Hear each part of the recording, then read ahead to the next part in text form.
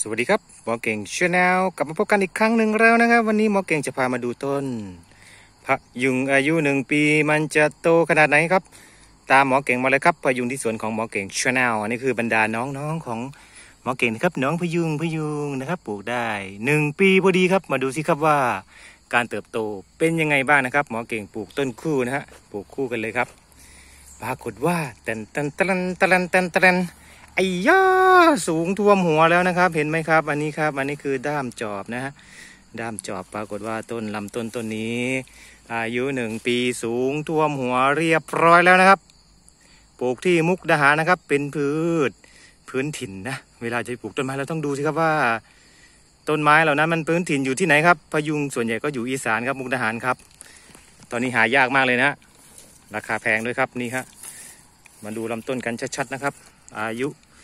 หนึ่งปีนะฮะเดี๋ยวเราค่อยตกแต่งกิ่งนะครับ เพื่อให้ลำต้นมันสูงนะครับ สูงเดียวยาวไปนะครับ กิ่งพวกนี้เราก็เด็ดออกครับเราไม่มีกันไกรไม่อะไรเราเอามาด้วยนี่ฮะลำต้นครับลำต้นของต้นพะยุงนะครับ อายุหนึ่งปีนะฮะหนึ่งปีครับโอ้มาดูอีกต้นหนึ่งครับนี่ฮะเดี๋ยวเราค่อยตกแต่งกิ่งครับเพราะว่าต้นพะยุงมัน ไม่ค่อยตรงเท่าไหร่นะครับ มันจะออกเป็นแบบพุ่มทรงพุ่มนะนี่ครับอีกต้นหนึ่งครับ นี่ครับพยุงครับ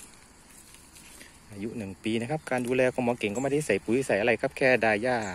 กำจัดวัชพืชรอบๆโคนต้นพวกนี้ครับอย่าให้มีหญ้ามีอะไรพวกนี้ครับ การเติบโตมันเป็นพืชพื้นถิ่นของเราอยู่แล้วนะภาคอีสานเรานะครับ ที่มุกดาหารครับ เติบโตเร็วแน่นอนครับ อาศัยน้ำฝนเท่านั้นนะนี่ครับ นี่ก็อีกต้นหนึ่งครับ คู่หนึ่งครับ นี่ สวยงามนะครับ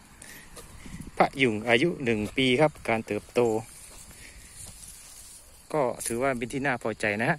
หมอเก่งก็เชิญชวนทุกท่านเลยนะครับ รีบปลูกแล้วครับ ต้นไม้ครับปลูกวันนี้ โตเร็วที่สุดครับ ขอบคุณทุกท่านเลยนะครับที่ติดตามช่องหมอเก่ง Channel bye bye